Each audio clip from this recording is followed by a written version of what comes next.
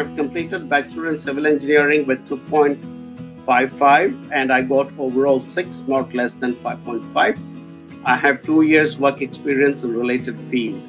Can I apply with wife? Not mention what is it that you plan to apply for. I don't know if you mean that you want to apply with for student visa or uh, some other kind of visa like a work visa. If you're looking at a work visa, it is not possible. As I keep saying over and over again, it is practically impossible to get a work visa when you're not present in New Zealand, and very few employers would would give you a, a job offer based on which you'll get a work visa when you're not present in the country.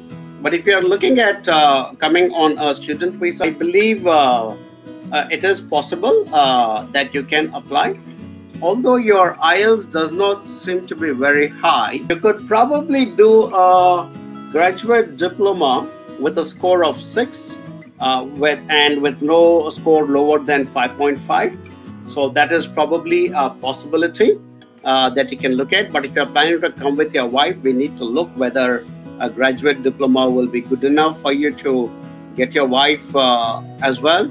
In most instances, it is not unless and until it is a proper match to a course in the long-term skill shortage area. But at this stage, if you're looking for a student visa with a six, uh, with no band, uh, IELTS score of six with no band less than 5.5, you're good for a graduate diploma but that graduate diploma may not be good enough for your wife to accompany you. So these are the kind of things that we will need to look at. So please connect with the team. We will get it a bit more into detail and then advise you.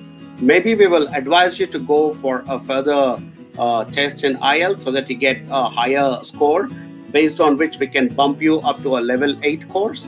Because when you take a level 8 course, then there are no problems in taking your wife along on a spouse visa, work visa, or a visitor visa.